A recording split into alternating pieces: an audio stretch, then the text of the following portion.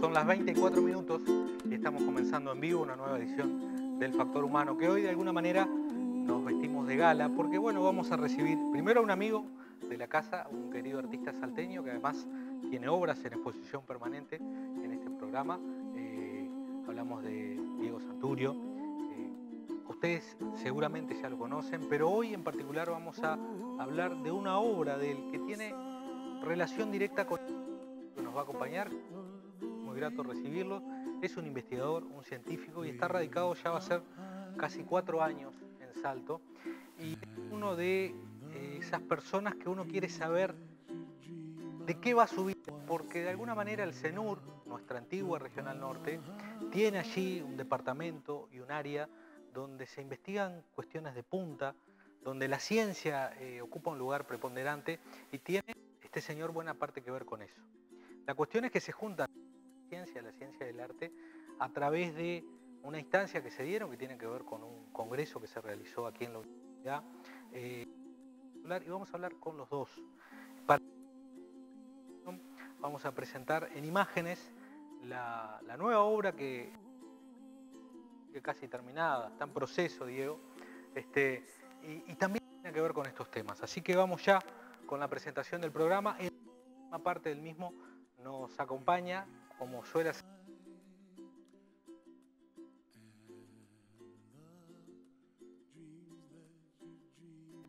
y esa parte de la población. Esto es el factor humano, estamos en vivo, bienvenido.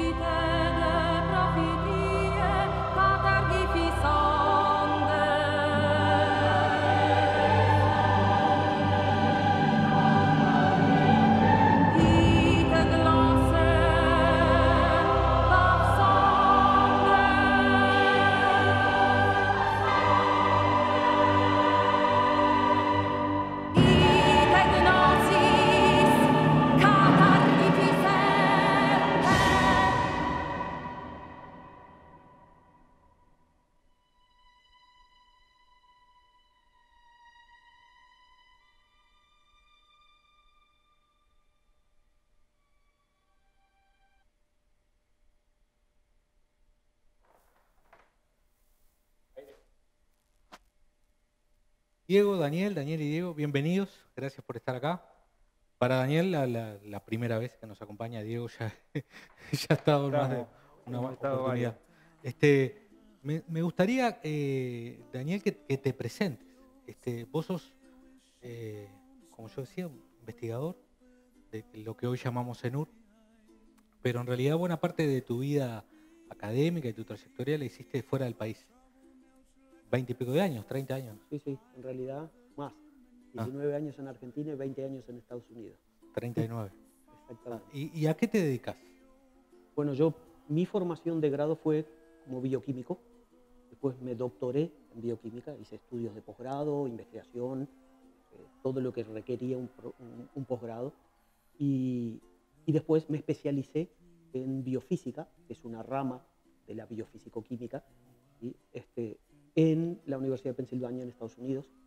Y después evolucioné hacia un estado de investigador independiente, donde en la Universidad de New Jersey, ¿sí? la Escuela de Medicina en New Jersey, me desarrollé como investigador independiente. Eh, ¿Y qué, en, en- en palabras que los legos podamos en- entender, qué hace más o menos un, un biofísico químico? Que, que en tu caso, ¿a qué, ¿a qué te dedicas? ¿Qué es lo que investigas? Bueno, el espectro es muy amplio. De hecho, eh, la biofísica atraviesa casi todas las ramas de las ciencias biológicas. En mi caso, yo me dedico a ciertas proteínas que están en las membranas de las células. ¿sí? La célula tiene una membrana que separa lo que hay adentro de lo que hay afuera. Y esas proteínas que están en las membranas de la célula permiten pasar ciertos componentes o impiden el paso de ciertos componentes de manera de eh, desarrollar funciones que son cruciales para la vida. Y yo estudio algunas de esas proteínas, hay infinidad, algunas de ellas que se llaman transportadores. Estudio eh, esas proteínas, sobre todo en células cardíacas. Ajá. Diego, Continuando con lo ¿y, que, y usted qué tiene? no, con- continuando con lo, con lo que viene contando Daniel, Eh. eh, me parece que es un pie perfecto para presentar este, la obra. Eso que, eso Bueno, que y- vimos en imágenes Eso que, es- justamente habla del trabajo de Daniel. eso que veíamos en, en imágenes que en algún momento te vimos a vos parado y, y- y después encima de ella, da una ilusión que es una obra de unos cuantos metros, ¿verdad? Y una vez concluida, este, pienso llegar a los 6 metros 50, 7 metros. De altura. 7 metros de Y lo que. Jonah está tomando ahora que tenemos sobre la mesa es una miniatura, una especie de... Es una, hay una escala 1-10, mira. Una Ahí escala tenés- 1-10. Sí, sí, Ajá. Una persona quedaría un poquito más alto que la taza. Ajá. Este, la obra tiene la particularidad de, de ser transitable también, es algo que... Pero bueno, justamente Daniel contaba en lo que él trabajaba Sí. y cuando me aparecen Daniel y Laura Domínguez, que tuvo mucho que ver con el Congreso, entre los dos llevaron al frente el Congreso. Ahora vamos a porque- ahí conversar va. un poco sobre el Congreso. Este, ellos me invitan a participar eh, en el Congreso este, y una de las cosas que a ellos les interesaba era eh, incluir el arte dentro, de, dentro del Congreso, ¿no? que, que- como tema a tratar también. Entonces este, dispara en la posibilidad de hacer una obra que va a, ser, va a pasar a ser una obra pública para la ciudad. Este, ¿En, dó- en dónde va a estar instalada esta obra? el Diego. lugar definitivo y la obra fue pensada para el lugar, inclusive este, es sobre el aula magna. En la explanada de, de- hay un puentecito ahí que se cruza. Para que la gente se ubique, el aula magna está sobre calle Misiones Bien. y es esa especie de pequeño edificio anexo que uno ve, este, que ahora al lado hay otro monstruo que se está Sí, construyendo. ahí está. Este, esto iría arriba de, de la terraza. Ahí va. Este, que va también a hacer un pasaje hacia los edificios que se están construyendo. Entonces, eh, junto con Juan Ferrer y José Santurio, que es mi hermano, que son dos arquitectos, eh, Juan es parte de la universidad, este, diseñamos un, eh, un espacio inclusive que se va a hacer eh, para destacar a la obra y generar también un lugar de, de didáctico y de recreación. Y, este, eh, eh, el proyecto, una vez concluido, este, creo que una de las mejores cosas que puedo, puedo llegar a hacer. Este, sobre todo porque hay justamente un cuidado extra de varios factores. ¿Vos decís que es mejor que la que tenemos acá? Y es, ¿Que nuestro XO permanente? son todas buenas. mirá que se va a no, yo tengo que defenderlas a todas, este, pero uno va evolucionando y las obras públicas sin duda que tienen un lugar Sin diferente, ¿no? Es una, duda. ese lugar también tiene la particularidad de, de- que es muy puntual. Si vos me das a elegir un, un lugar en el país para, para poner una obra, antes de que ellos me vinieran a proponerlo, Mm. este, hubiera elegido ese lugar. Es más, ya lo tenía mm, eh, como visto hace un tiempo atrás, como para porque es un lugar también que, este, más allá de, la dinámica que tiene, de la gente que concurre, de- de- del espacio, este, es un lugar que es público porque se puede acceder, no hay que entrar adentro del edificio de la universidad, ni, lo- ni al fondo, ni, ni a un patio, in- sino que directamente uno accede este, y, puede encontrarse con la obra y salir sin tener que tener un contacto directo con, con el edificio principal. Entonces este también hace de que sea un lugar resguardado. Mirándolo con con, un ojo más específico, eh, a mí me, lleva, me permite ir a otros límites, que no es una obra pública en una plaza, es una obra pública dentro de un espacio que está más cuidado. Entonces, este, puedo ir técnicamente este, y también desde la idea a otros puntos que otras obras no me permiten. antes de que entremos a hablar un poco en, los contenidos del, Congreso que, se realizó, eh, me interesaría, Daniel, ¿por qué, por qué buscar eh, en el arte alguna forma de representación? Eh, ¿Por qué? ¿De, dónde surge esa, cuestión? es algo que creo que nos lo debíamos. Y el eje arte y ciencia eh, surgió espontáneamente, como mencionaba Diego, con Laura, y inmediatamente que surgió plantear un eje arte y ciencia dentro de este Congreso Internacional de Enseñanza de las Ciencias Básicas, bueno, la palabra santurio vino inmediatamente después. Por eso es que fuimos a, verlo a Diego. Este, y me parece que ese eje abre una nueva dimensión, que debería estar, sin embargo no está todo lo representado que uno quisiera.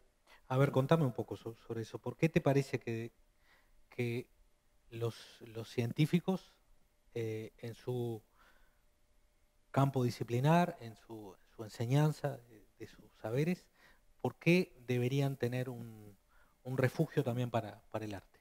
Eh, bueno, me interesa indagar en esa cuestión. Quizá, o sea, esto es una, opinión personal, ¿no? Uno, sea científico, sea artista, sea lo que sea, me parece que está, uno está siempre en busca de la belleza. ¿sí? Mm. Aún desde la ciencia, claro que sí. Hay, uno se enamora de los modelos matemáticos que describen la realidad, de los modelos físicos, de los modelos biológicos. Entonces, eso está subyacente en todo lo que hacemos. Y, bueno, tener la posibilidad de que un artista como Diego, de alguna manera, se integre a eso, y después supongo que vamos a hablar, porque para mí, y yo enseño conceptos biofísicos o biofísico-químicos, mi forma de evaluarlo es qué tan bien le fue al estudiante en el examen, o qué tan bien recibieron el mensaje, ¿sí? lo cual nunca es, no, casi nunca es inmediato. Lo que uno piensa que está diciendo es muy distinto en, la mente del receptor. Pero a mí se me abrió una nueva dimensión, que fue explicarle, comentarle, compartir con Diego lo que yo hago y ver la obra. A mí me emociona. Ver la obra es, es, ahora es, el resultado no fue un examen, es una obra de arte. Entonces, es maravilloso. Sí, Diego, estuve, este, tomando clases Eso, te iba a preguntar, ¿cómo? Porque, porque vos me... Eh, esto, surge, mira, el, padrino de la obra es Nelson Caula, ¿no? Este, hoy estábamos hablando de eso. Una vez, este, varias veces hemos estado los dos, eh, por lados distintos, entrevistados por Nelson en el programa de Tungelé.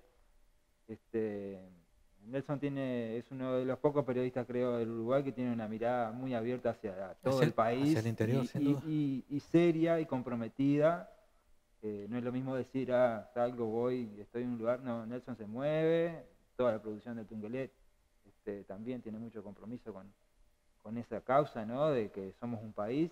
Este, y a mí ya hace un tiempo que me dejó desinteresar eso, de, interesar eso, de, ¿no? De ir a Montevideo y aparecer en diarios capitalinos, ¿no? Y yo dije, no, ¿sabes qué? Se terminó esto. Y bueno, entonces esta aparición de, este, este rescate que ha hecho de alguna manera conmigo Nelson, varias oportunidades, hizo que una vez coincidiéramos con Daniel en las nubes, eh, cuando hicieron un programa en vivo hablando de Amorini, este, muchas cosas salteñas. El programa de Nelson, vamos a recordarle a la gente, es el Tungelé que se emite por, Radio, Uruguay. Este, emisora pública del Sol. Y, bueno, y, mi obra, eh, toda la evolución de mi obra siempre ha tenido una conexión con la ciencia y con, la genética y con... Yo nunca me he detenido a, ver qué puntualmente es. Siempre estoy en el viaje, de evolución, ¿no? Esa cosa de... Y justamente como uno trabaja dentro de abstracciones, que intenta de que sigan manteniendo este, un lenguaje abstracto la, obra, tampoco me ocupo mucho. Pero una vez que, por ejemplo, necesito armar una exposición, ahí termino vinculando nombres, termino vinculando historias, y me siento, me siento muy cómodo en, en un lugar que yo no lo conozco en profundidad, como Daniel, evidentemente, con todo lo que sabe él respecto al tema, pero muy superficial, eh, la parte estética que tiene eso tiene una influencia muy importante en la obra. Entonces esto era como una cosa genial, poder acceder a, la universidad de la mano de Daniel y de Laura, que Laura también es escritora, este, y tiene libros editados y tiene mucha sensibilidad por el arte, este, sin tener yo, esto lo, he dicho no sé cuántas veces, pero es lo que me, tengo que decirlo porque es una cosa que, que es parte, hay que dejarlo claro, sin tener yo una formación institucional. Es un lugar donde este, hay, un, hay una barrera, ¿no? Este, para mí, que ellos la pudieron romper, invitándome con el respeto que lo hicieron, este, cómo plantearon el proyecto. Fue una cosa de que esto es inmejorable. Eh, dos puntitos, por ejemplo, que, uno está, ya ha hecho un montón de cosas, va, haciendo y espero seguir haciendo que avalan un montón de otras cosas, ¿no? Esto uno lo tiene más o menos claro. Pero que la universidad haya aprobado este proyecto, ubicarlo ahí, y tanto el Ministerio de, Educación y, eh, de, Educación y Cultura eh, haya aprobado un presupuesto que cubre los materiales y poco más, pero al menos es un dinero que, no es menor, sin tener un, diseño ni siquiera de lo que yo, yo, iba a hacer, para mí eso fue algo, ah, no, esto viene bien, Dios. Eh, esto, ah. esto es algo donde yo tengo que responder de la misma manera que me lo están planteando. Eh, siendo algunas cuestiones muy terrenales y prácticas, ¿no? ¿Cuánto, cuánto tiempo llevó el proceso del pienso de esto, Diego? ¿Cuánto Eso fue bastante rápido. ¿Sí? Este, sí, fue cuatro horas con Daniel de, clases en laboratorio, este, sumergido ahí con una...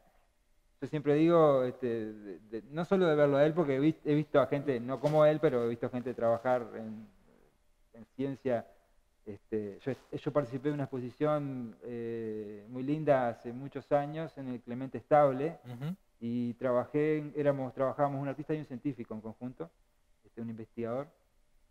trabajé con Cecilia Gascue, que ella era genetista, este, y ahí hicimos una obra que ya viene con historia esto, ¿no? Una obra mía y ella, entre los dos este, intercambiamos ideas y surgió que esto es como el la madre de, eso chiquito que sucedió ¿no? Este, en aquel momento. Y, este, y bueno, entonces eh, esa vinculación con la ciencia está, estuvo presente siempre. Eh, después de, salir del laboratorio de Daniel, este, que te decía, lo que veo en común es que entre el arte, entre el artista y el científico es el, proceder, de cómo la pasión, esa cosa este, que, sumergida en la búsqueda, ellos tal vez buscan algo más puntual y específico. Nosotros no sabemos muy bien qué es lo que estamos buscando, al menos en mi caso, puedo hablar de mi caso, no está muy definido qué es lo que, qué es lo que estás buscando, pero sí vas en la evolución, vas como que tomando registro de muchas cosas, de cómo incide en la gente, la ubicación de tal elemento, la, textura, cómo interactúa con el espacio, cómo y empezás a hacer como evaluaciones, ¿no? mini evaluaciones de cada paso a dar, cada estrategia para el montaje, cómo... Todo eso uno es una experimentación constante que hace que el, resultado después de la próxima o la próxima siga creciendo y siga... Eh, no es claro qué es lo que está buscando, pero mm. es lo mismo que ellos están ahí, este, ¿no? esa cosa de, compenetrada, el trabajo de... Es, es algo increíble. Y estoy muy feliz de que esto... En definitiva,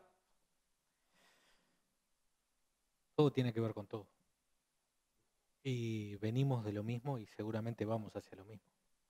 Este, cuando tú decías lo de la búsqueda de la belleza, a mí me, recordaba, Daniel, una, una, vez leí un texto del, astrónomo y divulgador de la ciencia, Carl Sagan, que decía, cuando entendemos los grandes números, entendemos parte de la belleza del universo. Este, y quizás la conexión más fuerte entre, entre ciencia y arte tenga que ver con esa búsqueda de esas cosas que están ahí.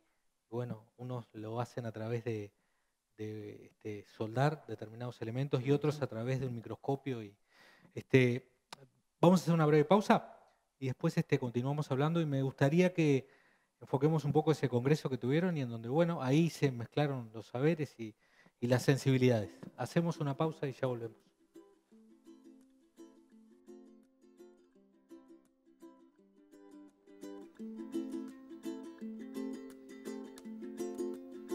Seguimos recuperando arterias de nuestra ciudad. Avenida Riague fue reconstruida nueva. Los trabajos comprendieron mejoras del pavimento, recuperación del cantero central, instalación de cartelería, pintura de cebras, demarcación de la senda sur y norte, colocación de semáforos en Washington Beltrán, limpieza de desagües pluviales y bocas de tormenta. Una obra que jerarquiza el acceso a la ciudad, facilita la circulación de vehículos y ofrece mayor seguridad a los peatones. Salto trabaja y crece. Gobierno departamental. En la esquina, te esperamos con una renovada sección de iluminación y electricidad.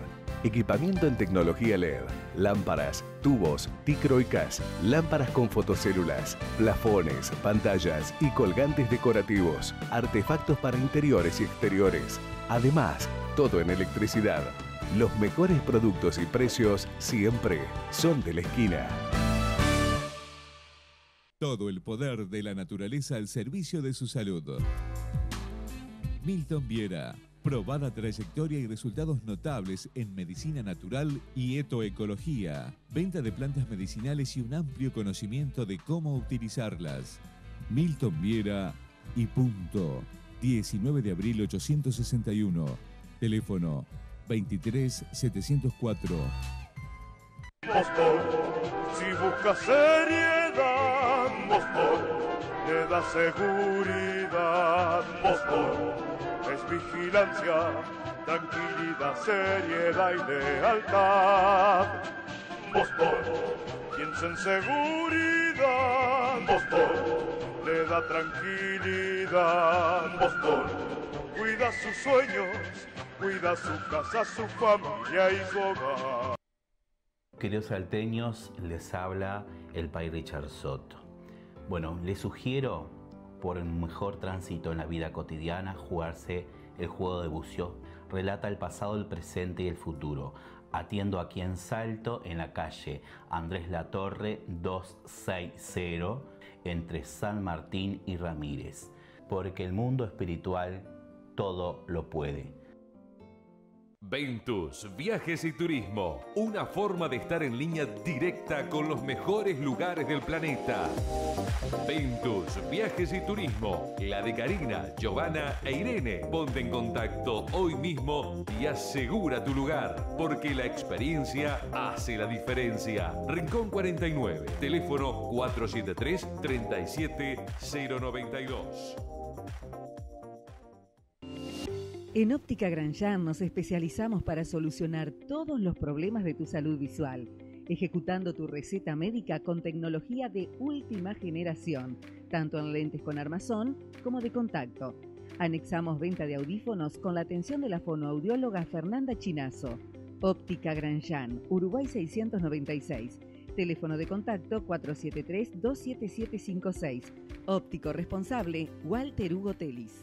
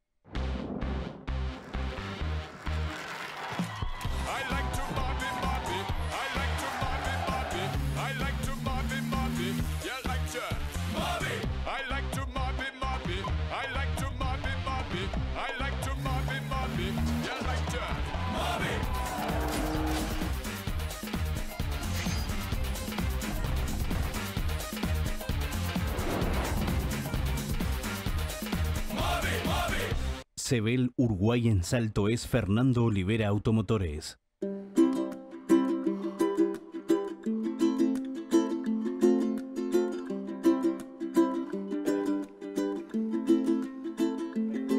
Son las 20 y 23, seguimos avanzando en el, programa. Eh, ¿Por qué hacía falta, eh, por qué crear esa cuestión que me decías recién que, es la primera vez que se hace en nuestro país, ¿no? un congreso de cómo enseñar ciencias básicas. ¿Por qué, por qué había que hacerlo? Pues esto tiene un componente histórico que uno tiene que mencionar.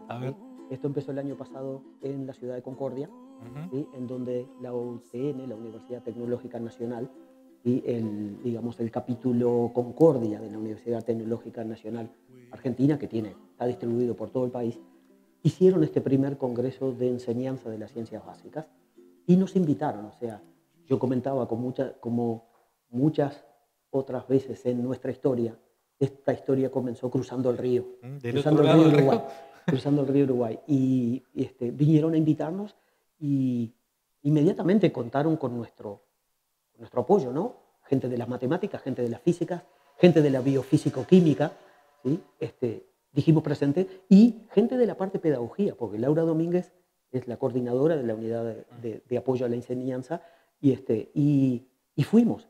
Y UDELAR tuvo presencia a través del CENUR en ese primer congreso. Este, estuvo espectacular, alrededor de 600 participantes, y al final nos sorprendieron gratamente invitándonos a que organizáramos el segundo. Y nos pasaron la posta. El segundo congreso fuera hecho en Uruguay, que fuera hecho en Salto, como ciudad doble con Concordia, del otro lado del, del río. Y, y bueno, aceptamos el desafío, el CENUR de alguna manera aceptó el desafío. Laura y yo quedamos un poco como abanderados, como, como organizadores, este, coordinadores generales, pero estaba claro en todo momento la necesidad del diálogo entre las ciencias de la educación y las ciencias básicas. Las ciencias básicas entiéndase como física, química, matemáticas y biología. Es algo que empieza con la escuela y antes también, porque he presenciado conferencias de maestras jardineras Mm. contando cómo le enseñaban ciencias naturales a, a chiquitos de tres años. Este, pero es un tema que se repite. La física, la química, la matemática, sobre todo la matemática, y eso se va arrastrando. En muchos casos se genera un prejuicio ya a nivel de enseñanza primaria. Cuando llegan al secundario, los gurises ya tratan de evitar aquellas ciencias que tienen mucha matemática, mucha física, mucha química. Y entonces nosotros, sobre todo en la parte de las ciencias biológicas, nos quejamos de la pobre preparación con la que llegan los estudiantes al plano universitario. Y en vez de quejarnos y dejarlo como anécdota, dijimos, vamos a hacer algo. Y vamos a tratar de contribuir con un granito de arena, eh, totalmente humilde. No es que esto vaya a cambiar las cosas. Pero lo que, lo que intentamos hacer fue establecer este diálogo entre las ciencias básicas, entre ellas mismas, ¿sí? porque no siempre los Sí, sí. matemáticos hablan con los físicos, ni los químicos hablan con los biólogos, y a su vez una malla tridimensional, como yo trato de describirlo, con las ciencias de la educación, a todos los niveles, ¿sí? preescolar, primario, secundario, terciario, universitario, hubo gente de la UTU, hubo gente de los clubes de ciencia del Ministerio de Educación y Cultura, es decir, se abrió el juego de una forma lo más general posible y obviamente cayó el eje arte y ciencia también. Sí, y en ese eje, ¿no? ¿Cómo, ¿Cómo te integraste vos ahí, Diego? Ya algunas cosas dijiste, pero ¿qué, qué, ¿con qué te encontraste siendo un congreso para, bueno, para discutir cómo enseñamos y cómo te Bueno, transmitimos? Mi participación este, viene justamente eh, realizando la obra y a su vez estuve trabajando en vivo este, dentro de lo que pude porque el tiempo no, no ayudó mucho, hubo un poco de lluvia y eso. Llovió, sí, llovió. Este, pero y intercambiando, hablando un poco de la obra, también este, la obra puntualmente tiene mucha ciencia encima, si, si bien yo no, no, no la detallo, pero hay mucha matemática metida, este, está justamente desde la metáfora de la biología, ¿Mm? eh, física ni, que hablar, de, de la química para, para el, el material, este, La hay- soldadura. la soldadura, hay mucha, hay mucha información ahí que nuclea todas esas cosas, ¿no? que, la- que las reúne este, ineludiblemente, es una cosa, eh, sobre todo la física, la- cómo uno eh, va este, eh, armando la obra, cómo se va componiendo la estructura, cómo responde el material. Y porque este, digámoslo, ¿no? Esta obra en particular tuya, este, desafía algunas cuestiones que uno a simple observación dice, ¿no? La gravedad, el equilibrio, todas esas hay cuestiones mucha, ahí, hay ¿no? mucha búsqueda, de, ¿Eh? hay mucha búsqueda de, de esa cosa de sorprender. Toda mi obra eh, siempre tuve presente eso, de que la persona que se encuentra con la obra le suceda algo. Y creo que una de las maneras o los recursos que utilizo es con pequeños actos de magia. este, Y a veces son eh, muy visibles, pero siguen siendo actos de magia. Entonces, este, esa, y- y, eh, como que la cabeza no termina de, re- de- de- de resolver este, o, o aclarar de cómo está hecho, cómo está, se sostiene e- esa sensación de movimiento, la ingravidez, ¿no? Sí, sí. Este, cómo las líneas van- buscan una dinámica, se van or- ordenando. eh, hay, hay, hay muchas cosas. de- de- y bueno, y este y, y sobre todo eh, me interesó muchísimo, me sentí muy cómodo porque analizándolo este, uno ve que, que tiene que ver, ¿no? No es que una cosa que eh, voy, estoy puesto ahí, no estoy pintando un paisajecito, sino que la obra y mi obra históricamente tiene mucho que ver con, con este, conciencia. Este, y, y bueno, y, y participar para mí fue genial, porque es- esto es, para mí es eh, estar con Daniel sentado hoy acá al lado, ¿no? En los 10 años del programa, ¿eh? no, nada menos. Eh, no es estar en un museo ni en una galería. Yo estoy poniendo mi, a- mi arte, mis obras a, a costado de la ciencia. No, adentro de la ciencia. Es mejor aún. ¿no? Y va a, pasar a, va a pasar a ser una representación de eso.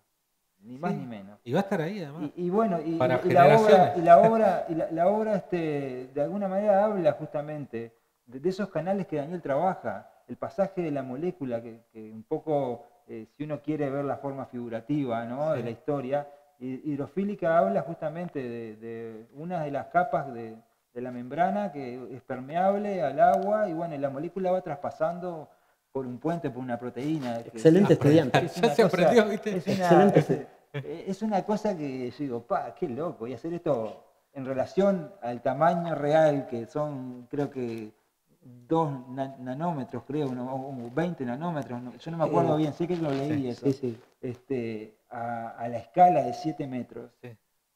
También de fondo intento, esta es una lectura que la hice después, mucho después, una vez que, de fondo se puede ver como un mensaje de lo pequeños e insignificantes que somos. Ah, sí. Enf- encontrarse con una obra de 7 metros Ajá. que simboliza algo tan pequeño, Mm. eh, hace como una, una- Se puede llegar a una lectura de, decir, pa, pero esto. Y si esta molécula que justo está pasando por acá hace algún daño este, en esa célula y eso se reproduce, ¿no, Daniel? Y, y pasa que la vida del pasaje de una molécula pasa a poder terminarse. Bueno, vez capaz, capaz no es tan extremo como lo estoy contando, pero eh, es- es- este, pero es, ese, esa lectura que uno puede hacer sobre la obra es genial. Y es una lectura que evidentemente fue posterior a todo esto. Y vuelvo con lo- un poco a lo que vos dijiste hace un rato fuera de cámara, que está todo conectado. Todo está, me parece, de una manera Sí, sí. conectado. Eh, desde en algún momento esto estaba ordenado dentro de mis ganas y de las ganas de Ah. Daniel de venirse y de, Nelson, de las ganas de Nelson de, de difundir el Uruguay y ahora vos que, que nos sentás acá, Sí, todo se va ordenando y se va, cuando uno hace las cosas con, con pasión y con los objetivos claros y dentro de una honestidad, es jodido hablar de honestidad porque hoy en día es una palabra este, muy complicada, pero yo me animo, vos sabés, este, y, y- y sé que, que está bueno que decirlo también, ¿viste? no caer en el panfleto, ah, mirá, qué, qué lindo, no sé qué, sino que bueno, está, esto, hay un trasfondo, hay un, un ordenamiento de estas conexiones eh, que es bastante más superior a nosotros. Cada cual le puede buscar la forma que quiera, ¿no? Este, eh, pero que eso existe, existe. Y bueno, esto es un or- or- hidrofílica es un punto de orden de todas esas cosas.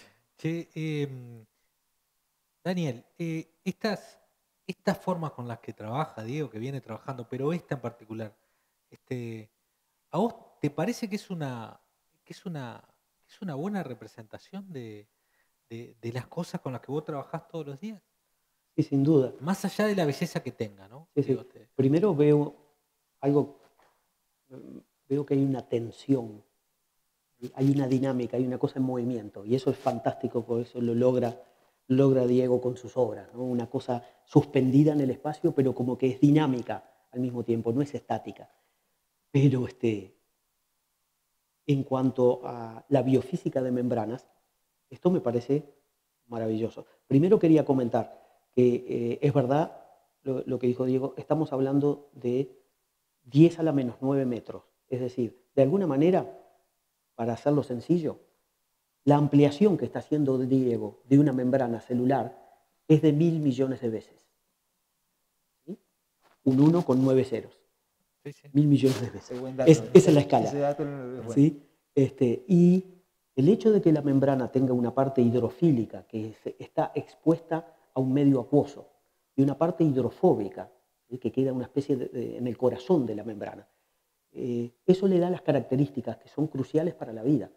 Y hay sustancias con carga eléctrica que no pueden pasar libremente a través de, membra- de esa membrana y necesitan de estas proteínas con las que yo trabajo para pasar en la membrana. O sea que eso de la molécula pasando a través de la Esa es membrana... esa que tenemos ahí, Ahí que está. está... Sí, sí. Es- no- yo no sé si está entrando o está saliendo. Bueno, De- depende de qué lado uno lo esté mirando. Exactamente. Y tú sa- abre, se abre y se cierra, ¿no? Se- es y tú que sabes que justamente- este, está perfecto la interpretación porque hay procesos tanto para entrar como para salir. ¿Sí? Y como me dijo un amigo físico-químico también que vino, vino de Buenos Aires invitado al, al Congreso, dice, pero esto también podría ser una vesícula en donde la membrana se separa, se invagina y se forma una, vesícula intracelular que está rodeada por la misma membrana, pero que ahora está dentro de la célula.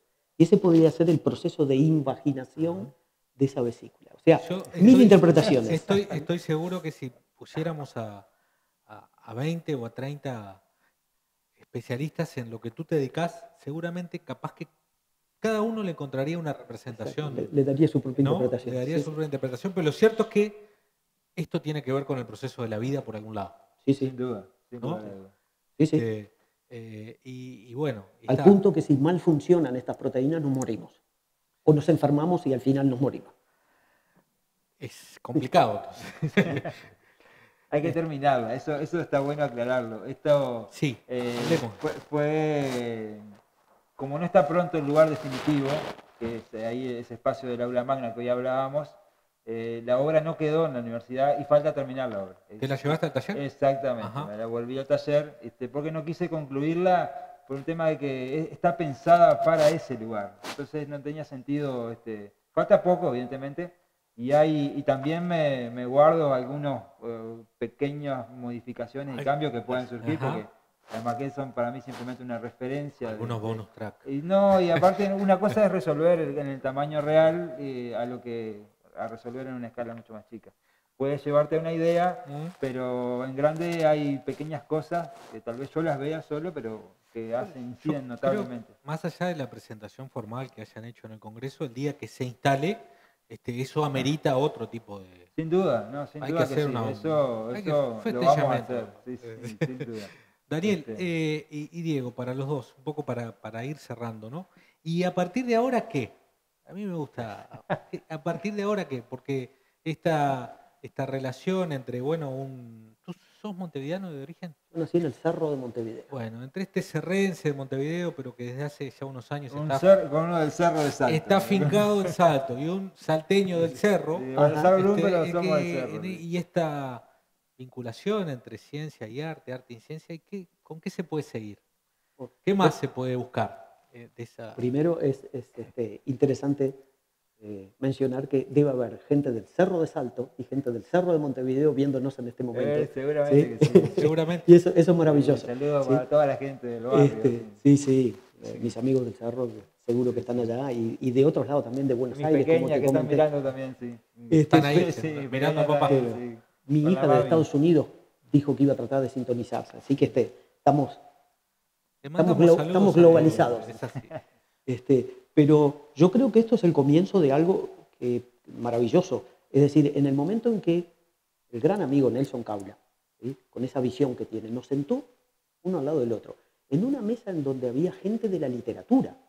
Vino gente de Entre Ríos, gente de Montevideo, gente de Salto, hablar de Amorín, hablar de Quiroga, hablar de Borges.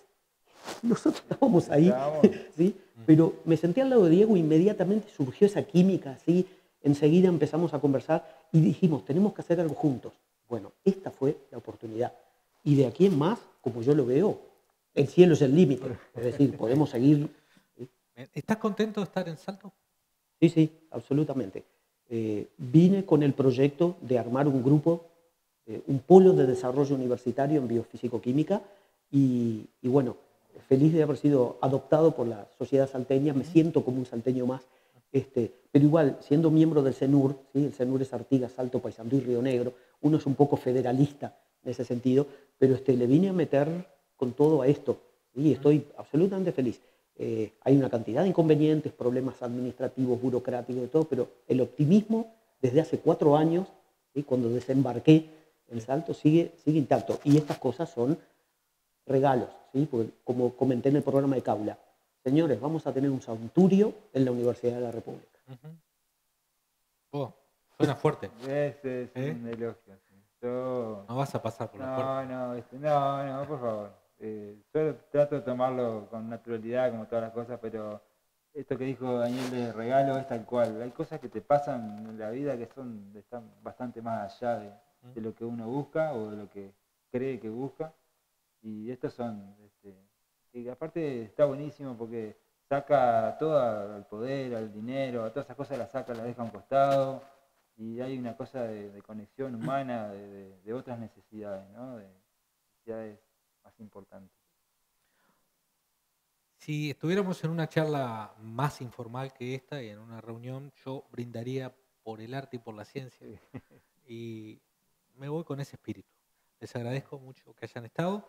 Este, no va a ser la última vez, seguramente por separado, en las próximas. Este, eh, te vamos a traer alguna vez a hablar específicamente de, mucho gusto. de todo lo que estás haciendo y en lo posible con imágenes de, de lo que vos investigás, que no sean solo la representación de Diego, sino con las otras. Y bueno, Diego es parte de la casa, este, eh, que para el año que viene tenés que ir pensando a ver qué nos vas a donar. Así, este, Cambiamos, hacemos, eh, o sea, ponemos para el otra, año ponemos otra.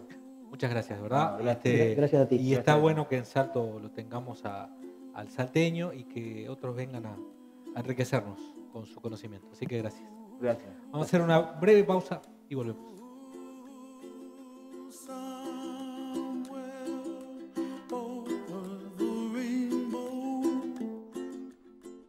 En la esquina, te esperamos con una renovada sección de iluminación y electricidad. Equipamiento en tecnología LED, lámparas, tubos, ticro y CAS, lámparas con fotocélulas, plafones, pantallas y colgantes decorativos, artefactos para interiores y exteriores. Además, todo en electricidad. Los mejores productos y precios siempre son de la esquina. Todo el poder de la naturaleza al servicio de su salud. Milton Viera. Probada trayectoria y resultados notables en medicina natural y etoecología. Venta de plantas medicinales y un amplio conocimiento de cómo utilizarlas. Milton Viera y punto. 19 de abril 861. Teléfono 23 704. Boston, si buscas seriedad, Boston, le da seguridad. Es vigilancia, tranquilidad, seriedad y lealtad. Boston, piensa en seguridad.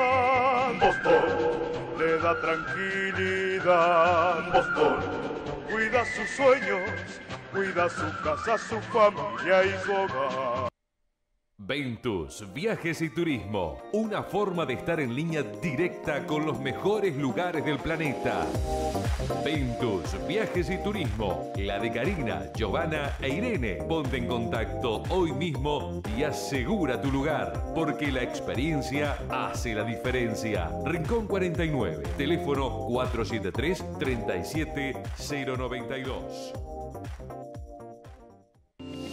En Óptica Granjan nos especializamos para solucionar todos los problemas de tu salud visual, ejecutando tu receta médica con tecnología de última generación, tanto en lentes con armazón como de contacto.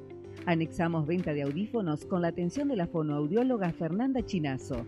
Óptica Granjan, Uruguay 696. Teléfono de contacto 473-27756. Óptico responsable Walter Hugo Telis.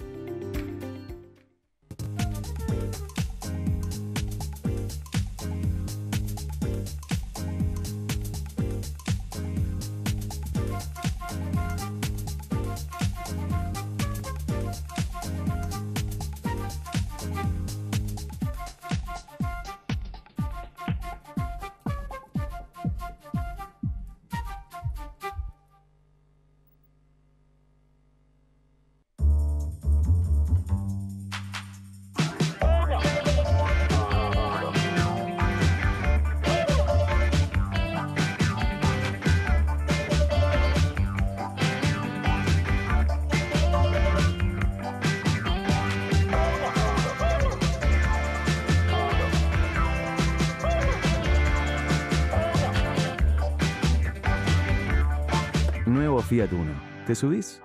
Sebel Uruguay en Salto es Fernando Olivera Automotores. El siguiente espacio en el factor humano es una presentación exclusiva de Boston, Seguridad y Vigilancia.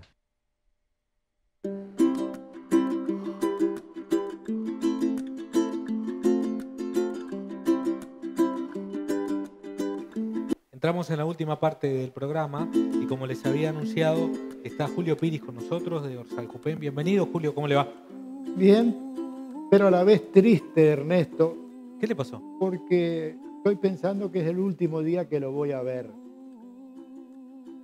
Mañana termina el mundo. No sé si usted se enteró de ese detalle. No, pero a ver, eh, yo, yo creo que no es así. Pero usted, ¿por qué me dice eso? Porque hay toda una profecía que dice que mañana, 23 de septiembre, se termina el mundo. Entonces yo estoy triste porque no lo voy a volver a ver, supongo. Pero ha habido muchas profecías, Julio, ¿no? Y- Bueno, pero si no, es la- si no es mañana, es la semana próxima, porque Trump va a determinar con el mundo. Ahora bien, yo Eso le voy, puede ser complicado. le voy a hacer una pregunta. Usted, usted dice que Trump Sí, trae Corea, porque y- Corea y- es un, es un Kim ejemplo-. Kim Il-jung, pero es una, es una cosa que nació por Estados Unidos, este- esta Sí. división de Corea. Ahora yo le voy a hacer una pregunta. Sí. Cuando yo le, le tiro así estas cosas, ¿usted puede, Yo quedo mal. puede Para empezar, reflexionar quedo mal, quedo sobre mal. la vida diaria? Quedó mal. No, no, no. Yo quedo, este, quedo, quedo, quedo mal. Queda afectado, ¿verdad? Sin duda, Bien. quedo afectado. Ahora, ¿sabe por qué yo le digo estas cosas que suenan a barbaridades? Porque este es el origen de las bajas jubilaciones de las cuales hoy la gente se queja. ¿Porque se va a terminar el mundo? No, el Ah. temor. Las dos cosas que yo le dije Sí. se basan en el temor. En el miedo, es a que desaparezca el, eh, ¿no? el mundo de alguna manera. Sí. Cuando durante el periodo del gobierno cívico-militar se hace el acto institucional número 9, desaparecen parte de las eh, leyes votadas para beneficiar a los que iban a entrar en la pasividad. Una ver. de ellas cosas fue el aguinaldo. Estamos hablando del- de la época de los Mil- 70. 1979. Ahí tuvo lugar. Un retroceso en la liquidación de la jubilación. O sea, nuevas formas de reducir. ¿Por qué pasaba? Había temor y no había manifestaciones del pueblo. O sea, hace 38 años atrás. Sí, señor. La segunda fue en 1995-96, cuando de alguna manera a usted lo asustaron, a usted no, porque usted era joven, No, no, pero yo, a- yo- yo- asustaron a toda la población. ya, yo ya aportaba en esa época. Bueno, entonces asustaron a toda la población con el hecho de que las cajas de jubilaciones se iban a fundir y que había que lograr una nueva forma. Y entonces a- inventaron, inventaron no, la ley ya estaba diseñada, la metieron en el Parlamento y la hicieron aprobar. Esa ley está perjudicando totalmente el monto jubilatorio. Por una, en la primera momento, eso que yo te digo, beneficiaron a un grupo que son, es la famosa discusión de la caja de jubilaciones militares, Sí. donde un grupo, que es la parte alta de la oficialidad, Sí. se jubila con el sueldo en actividad y algún grado más. O sea, cosa que no sucede en, en las jubilaciones comunes. Pero En los civiles, digamos. a los comunes Sí. les retiraron el aguinaldo y la prima por edad. ¿verdad?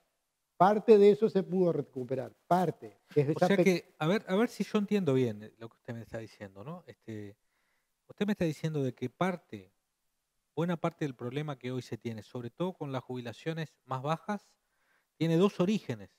Un origen en dictadura, del año 79, y un origen y un origen en periodo A los 10 democrático años, en el año 95, 94, 96. cuando la reforma, ¿no? Cuando Sí, el sí, sí. sistema...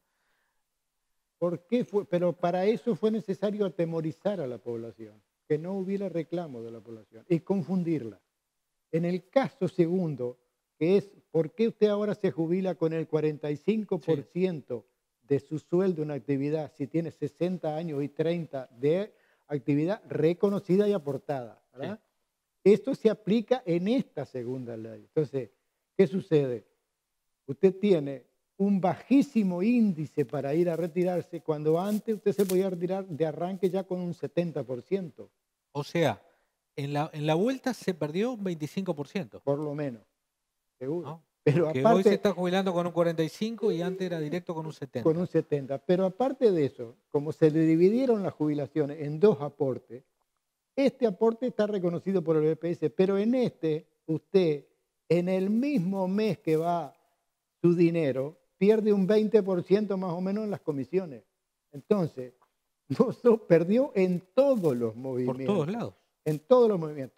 Perdió el aguinaldo, perdió la posibilidad de llegar a los 70 años y tener la prima por edad de 70 años, que era una cobertura por los gastos extras que aparecía. Eso lo perdió en un momento. Pero después perdió en el monto jubilatorio, la famosa que sería paramétrica o lo que sea, de decir, bueno, está, ahora en lugar de, empezar en un 70, empieza en un 45. Quiere decir que todas las jubila- todos los aportes bajos que se están haciendo, porque la inmensa mayoría de la gente que está cobrando hasta 20 mil pesos como promedio, si fueran a jubilarse ahora cobrarían 10 mil pesos de jubilación.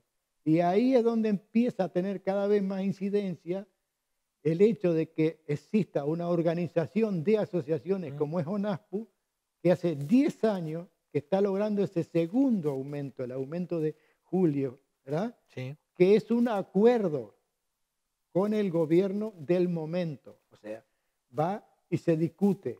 Se ha discutido en estos últimos 12 años, se ha discutido para qué, para lograr que las jubilaciones mínimas asciendan, porque si no, fíjese lo siguiente, por la ley de, que, re- que regía para el acto 9, Sí. ¿no? La jubilación en año 2017 sería 3.069 O pesos. sea, si siguiéramos con la ley Del que acto- reformaron los militares en el año 79, hoy La la, jubi- jubilación mínima sería 3 mil pesos. 3.069 pesos. Y, si- y al guiarnos por la ley del 96, la jubilación sería de 5.488 pesos. Sí, y hoy el mínimo de cuánto es, Julio. Hoy, de, acuerdo a, lo- a- a los decretos, eso, es decir, se llegó casi a 12.000 pesos. ¿Pero por qué? Porque esos famosos 300 o 400 pesos que se iban logrando en junio, Sí. ¿no?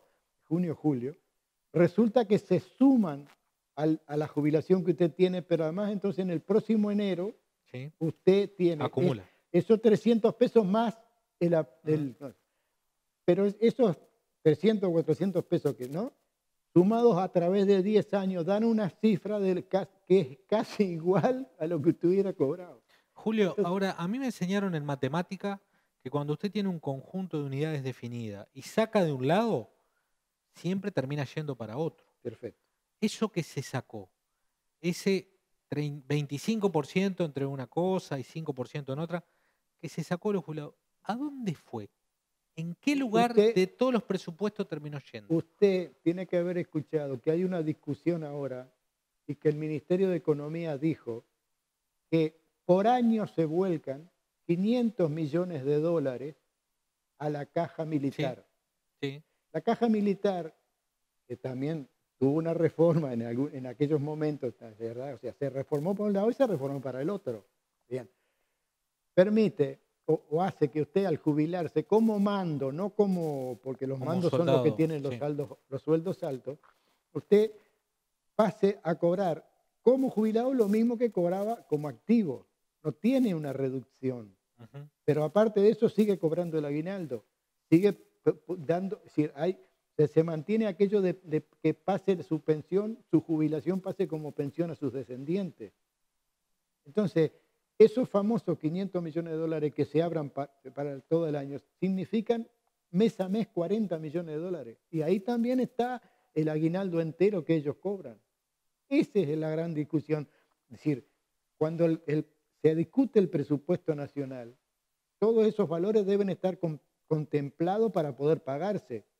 ¿Y usted qué, qué opinión, qué opinión tienen como grupo sobre la propuesta actual de reforma de la caja militar? La propuesta actual de reforma nosotros hemos insistido en que se debe hacer Ajá. por varios motivos, ¿verdad? Pero uno de los motivos es porque La ley, cuando habla de la creación del Banco de Previsión Social, le adjudica al Banco de Previsión Social el juntar todos los temas jubilatorios y comenzar a unificar un criterio único. O sea, unificar un criterio. No puede ser.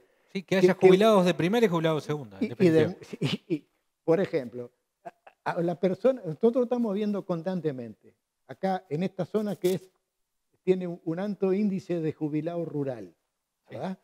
Este, ¿Qué sucede con esa gente? Que por dificultad de aporte, por aportes bajos y todo eso, cuando va a jubilarse, si no hubiera esos el- el logros que se han logrado a través de, de las asociaciones gremiales, sería ínfimo, porque vamos a suponer, volvemos al ejemplo, si a usted le están aportando por 15 mil pesos, suponiendo que le estén aportando todos los Sí.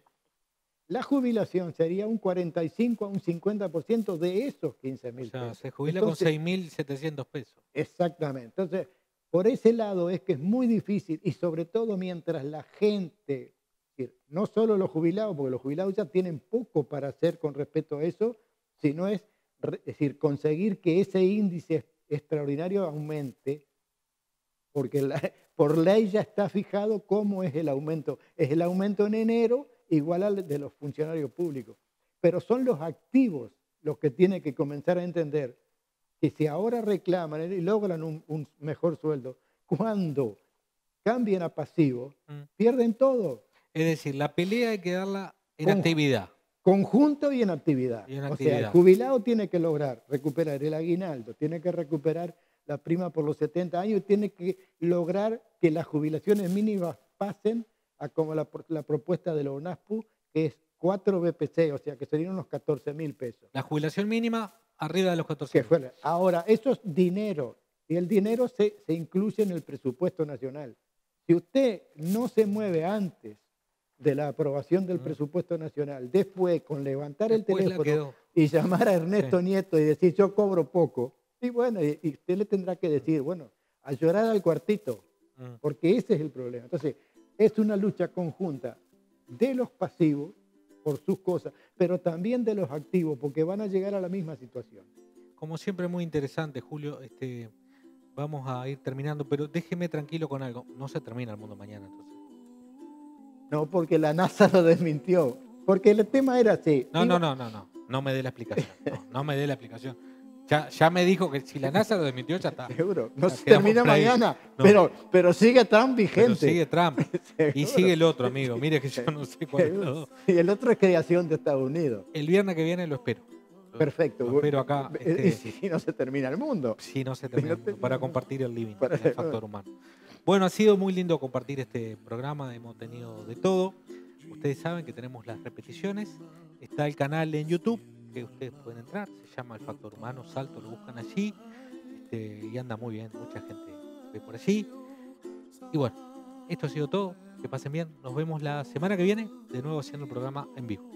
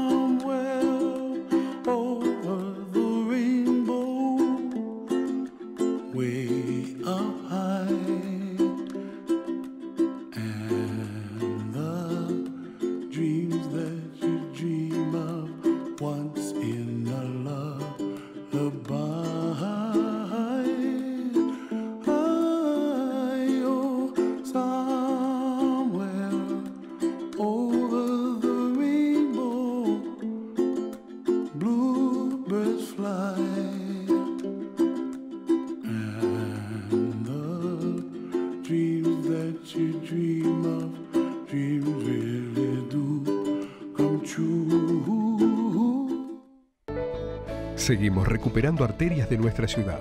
Avenida Riague fue reconstruida nueva.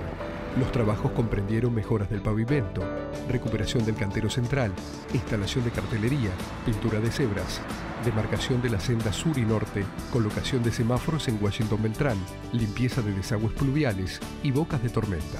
Una obra que jerarquiza el acceso a la ciudad, facilita la circulación de vehículos y ofrece mayor seguridad a los peatones. Salto trabaja y crece. Gobierno departamental. En la esquina, te esperamos con una renovada sección de iluminación y electricidad. Equipamiento en tecnología LED, lámparas, tubos, ticro y CAS, lámparas con fotocélulas, plafones, pantallas y colgantes decorativos, artefactos para interiores y exteriores. Además, todo en electricidad. Los mejores productos y precios siempre son de la esquina. Todo el poder de la naturaleza al servicio de su salud. Milton Viera. Probada trayectoria y resultados notables en medicina natural y etoecología. Venta de plantas medicinales y un amplio conocimiento de cómo utilizarlas. Milton Viera y punto.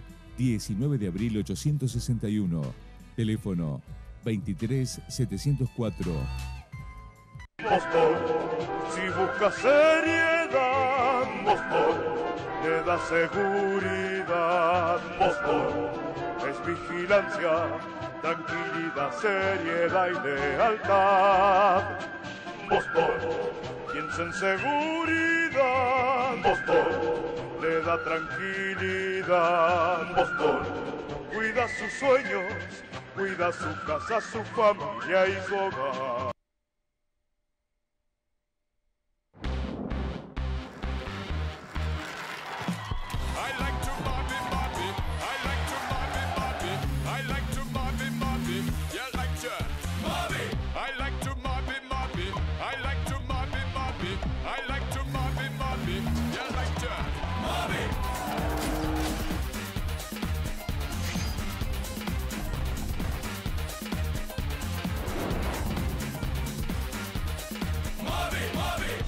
Sebel Uruguay en Salto es Fernando Olivera Automotores. Queridos salteños, les habla el Pai Richard Soto. Bueno, les sugiero, por un mejor tránsito en la vida cotidiana, jugarse el juego de bucio. Relata el pasado, el presente y el futuro. Atiendo aquí en Salto, en la calle Andrés Latorre 260, entre San Martín y Ramírez. Porque el mundo espiritual todo lo puede. Ventus, viajes y turismo. Una forma de estar en línea directa con los mejores lugares del planeta. Ventus, viajes y turismo. La de Karina, Giovanna e Irene. Ponte en contacto hoy mismo y asegura tu lugar, porque la experiencia hace la diferencia. Rincón 49, teléfono 473 37092. En Óptica Granjam nos especializamos para solucionar todos los problemas de tu salud visual, ejecutando tu receta médica con tecnología de última generación, tanto en lentes con armazón como de contacto. Anexamos venta de audífonos con la atención de la fonoaudióloga Fernanda Chinazo. Óptica Granjam, Uruguay 696. Teléfono de contacto 473-27756. Óptico responsable Walter Hugo Telis.